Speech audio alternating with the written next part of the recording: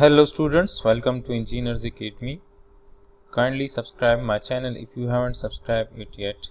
Now we are going to solve this uh, 1352 problem from chapter 13 Hibbeler Dynamics.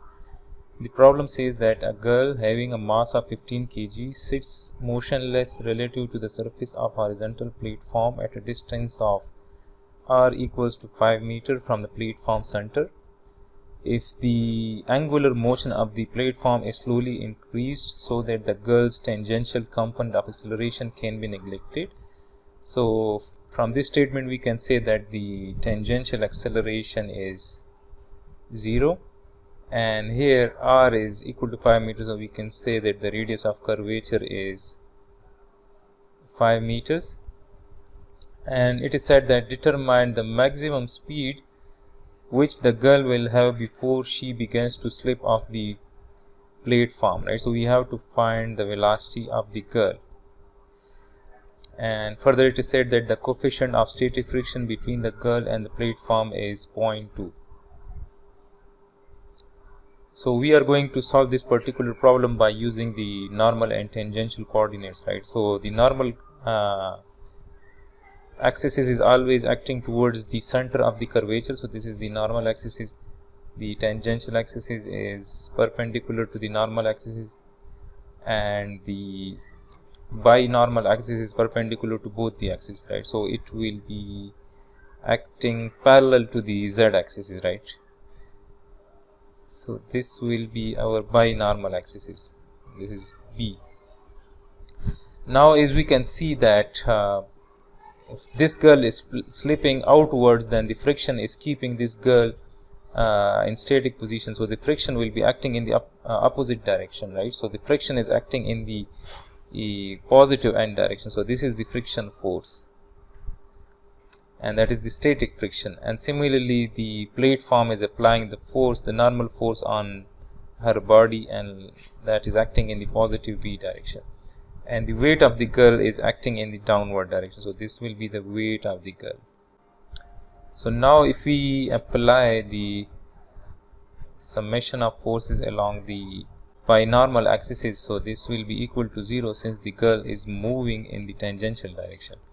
So as we can see that this n is acting in the positive v direction so i will write plus n and minus the weight of the girl right? So minus weight of the girl and this is equal to 0 or we can say that the normal force of the platform is equal to the weight of the girl and the weight of the girl is 15 the mass is 15 times 9.81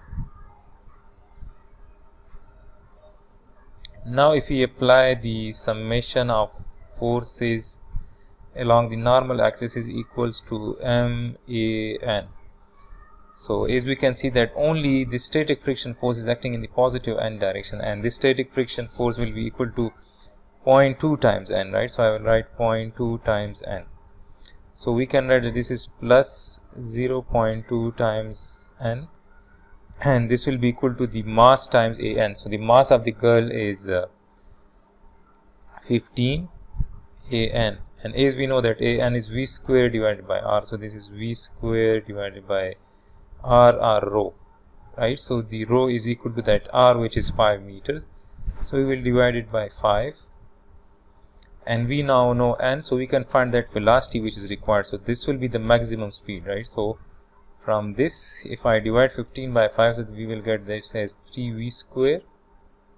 And we, we are interested to find this velocity so then v square will be equal to 0.2 n divided by 3 and we can write that n is equal to the weight of the girl from this equation. So this is 15 times 9.81 and if I take the square root then we will have that maximum velocity magnitude. So this is 0.2 times 15 into 9.81 divided by 3 so we get the velocity magnitude as 3.13 meter per second so this is that required uh, maximum speed of the girl which was required. So i hope you people would have understood the solution of uh, this particular problem. Kindly subscribe my channel if you haven't subscribed it yet and like this video if you people want me to solve such more problems